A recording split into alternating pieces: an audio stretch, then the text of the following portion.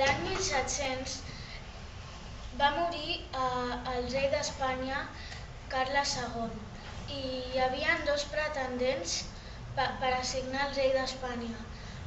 Un era el, un era el de França, que es deia Felip V, i l'altre era l'arxiduc Carles II eh, d'Anglaterra. Finalment, el rei de- d'Espanya és Felip V i els representants de- d'Anglaterra i Holanda no estan d'acord perquè França i Espanya junts tenen massa poder i, i llavors eh, volen que el, el rei d'Espanya sigui Carles. Finalment, els catalans van acceptar com a, Fe- a Felip V com a rei i va venir a Catalunya a jurar el, la Constitució catalana. En aquell moment els catalans no estaven d'acord amb com governava el Felip V i van decidir eh, aliar-se amb l'arxiduc Carles.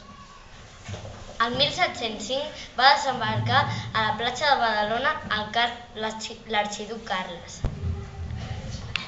Felip V volia ser rei, però els catalans no, vol, no volien que sigués. Llavors ell va començar a fer guerres per, per, per aconseguir ser el rei de Catalunya. El 1711 va passar un fet que va canviar la història. Es va morir el germà de Carles III i Carles III va, va governar Àustria. En 1713 es van reunir els representants dels dos reis um, a Ucrea. Els representants van acordar que si acceptaven a, a Felip V com a rei, a Anglaterra li regalarien Menorca i, i el penyal de Gibraltar i a Àustria li regalarien Itàlia i els Països Baixos. Catalunya es va quedar ben sola. A Catalunya van haver-hi moltes batalles i només van resistir Cardona i Barcelona. Barcelona va ser assetjada durant 13 mesos, fins que l'11 de setembre del 1714 va ser conquerida. Felip V va abolir totes les institucions i els drets dels catalans. Amb el decret de nova planta.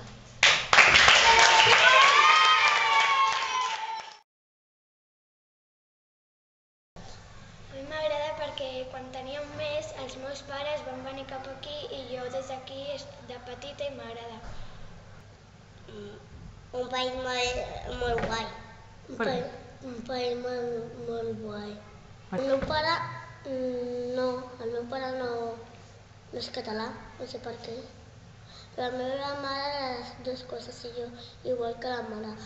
Abans jo era ca castellà, però em han grut una miqueta la català i sé hablar en català i en castellà. Doncs perquè jo quan encontro un senyor que habla en, cas, en castellà, com jo sé que les dues coses jo la hablo en castellà. Si és de català, no la català la hablo. Jo crec que, que sóc jo perquè, perquè jo he estat al col·le més que ell. La veritat és que no sé, perquè encara no l'he descoberta tota. I com no l'he descoberta tota no, no ho sé. Eh, per mi el que més m'agrada és Mataró. Sí. A mi també, perquè... Aquí, aquí, aquí Però també m'agrada tota la vida. també m'agrada viatjar a altres països. A mi també. Que a Catalunya podem parlar català i ens ensenyen català. M'agrada molt i, i podem parlar català, coses així. A mi Catalunya m'agrada, és un país que m'agradaria viure tota la vida i que podria viatjar a un altre país, però després tornar aquí. Molt malament per la crisi. Pitjor. Tricentenari s'ha de celebrar perquè és un fet històric molt important commemorant la gent que va morir, eh, fent honor a Catalunya. Jo a Catalunya, dintre de 10 anys, la veig més moderna i que els impostos no estaran tan alts. Que a Barcelona ja s'haurà acabat la construcció de Sagrada Família i així més estrangers vindran a visitar-ho. Adéu.